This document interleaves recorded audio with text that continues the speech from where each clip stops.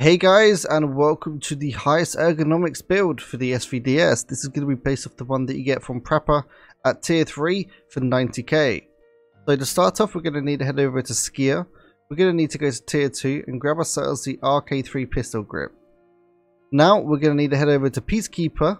We need to go to tier 4 and grab ourselves these Fortis Shift foregrip.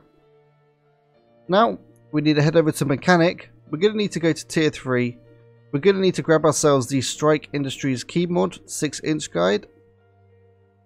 And then we're going to need to grab ourselves the SVDS dust cover. As well as grab ourselves the SAG MK1 chassis. Now, this is everything you need for the build.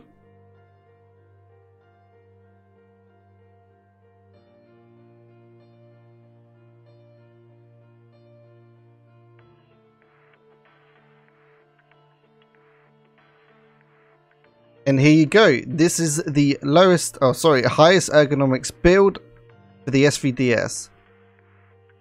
One of the reasons why you'd want a high ergonomics build is if you have two sights on the gun. You can switch between them pretty decently. If you head over to Peacekeeper Tier 2, you can grab yourself the NC Star um, 45 backup mount and with this, it means that you can put a canted sight on the gun. Obviously, with the Bravo, you can put the sight on the top.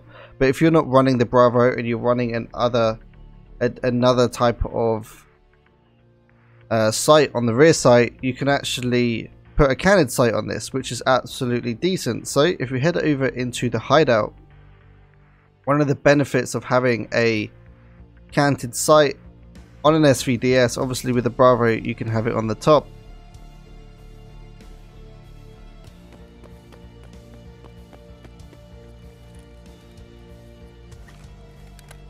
But with the canted sight, you can quickly switch between both sights really decently. So this is pretty good for uh, maps looking like interchange and those kind of things, where suddenly someone's going to pop their head out close range and, you know, say hi when you don't want them to.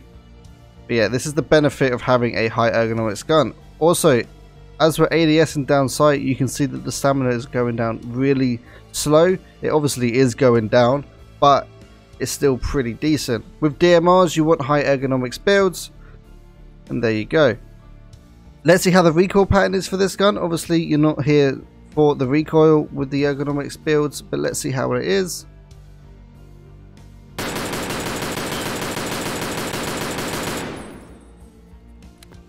It obviously has the initial kick that every gun in Tarkov has, but then it all kind of just situates all in one area. Let's try this again from a distance crouched.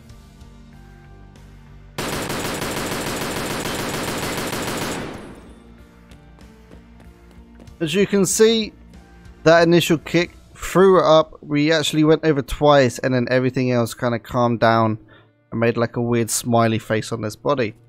So guys, hopefully you find this gun useful, especially with a high ergonomics build.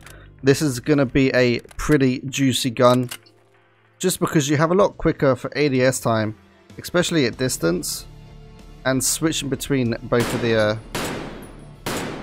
both of the sights. But guys, thank you very much for watching. Hopefully this game will bring you some decent amount of kills.